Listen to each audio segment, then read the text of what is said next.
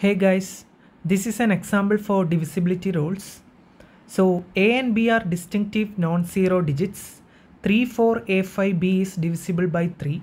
Then what is the maximum and minimum possible values in order for A plus B? Okay, so what is the divisibility rule of 3? It's like the sum of digits will be a multiple of 3, right? So let's take the sum of digits here. So sum of digits is 3 plus 4 plus a plus 5 plus b. Right.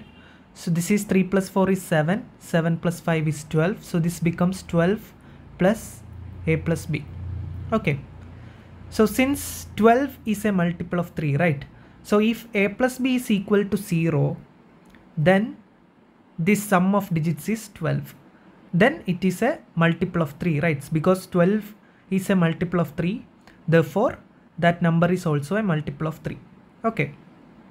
Similarly if a plus b is equal to 3 this will become 15 right. So 15 is also a multiple of 3 therefore that number will be divisible by 3 similarly when a plus b is equal to 6 a plus b is equal to 9 a plus b is equal to 12 15 or 18 then that number will be divisible by 3 here one thing that you need to note is that a and b are digits. So the value of a or b can be from 0 to 9 okay when a and b are both 9 which is the maximum value the total value of a plus b will, will become 18 so you shouldn't take 21 as a possibility because 21 will not come. The maximum value possible is 18 and minimum value possibly is 0 so you will be having a tendency to write 0 as the minimum value and 18 as the maximum value right but that is not the answer. Why? Because here it has been said that A and B are distinct and non-zero digits, right? So A and B are distinct. That means A and B won't be the same digit and they are non-zero. That means A and B won't be zero. So if, if A plus B is equal to zero, A should be zero and B should be zero. In this case, A and B are zero. Also A and B are not distinct so this doesn't match our condition. So a plus b being 0 is not a possibility in this question.